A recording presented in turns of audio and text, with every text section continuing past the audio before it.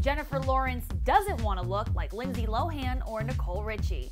Hey guys, welcome back to Clevver News. I'm your host, Deidre Behar, and I'm hanging out here in our Hollywood News studio with all the latest on Jennifer Lawrence's new interview in 17 magazine. While staying thin and dieting excessively may be the way of life for most Hollywood starlets, 21 year old Jennifer really can't relate. She tells the magazine in their April issue that she's just about had it with young girls who follow crazy diets and enjoys being someone of normal weight who they can all look up to. The Kentucky native recalled a time when she had to deal with this issue firsthand, explaining, I remember when I was 13 and it was cool to pretend to have an eating disorder because there were rumors that Lindsay Lohan and Nicole Richie were anorexic. I thought it was crazy. Jennifer, who's apparently a carb lover like the rest of us, left school that day and told her mom, Nobody's eating bread. I just had to finish everyone's burgers.